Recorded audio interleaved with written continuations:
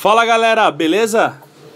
DK136 Acessórios traz hoje para vocês um vídeo sobre o novo Santo Antônio K1 da Queco. Nós instalamos ele aqui numa S10 cabine dupla. Essa é a versão preta do Santo Antônio, nós também temos ela na versão cromada, se você preferir. Essa parte que une uma, uma barra tubular a outra é em aço carbono também, tá pessoal? Lembra muito o acabamento plástico, mas ela é toda feita em aço carbono. Nós colocamos também aqui os estribos originais da S10. Nós temos aqui no nosso estoque. Então pode vir para cá que nós temos o estribo original.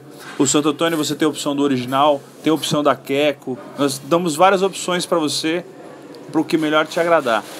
O Santo Antônio, para quem não sabe, serve para embelezar a picape e também proteger, tá, gente? Nós colocamos o PCI aqui preto, combinando com o Santo Antônio. O famoso quebra-mato, né? Olha só, o logo da S10, original, nada de furação feita aqui, são usadas as furações originais do veículo. E acessório para picape aqui na DK136, a loja que tem prazer em atender.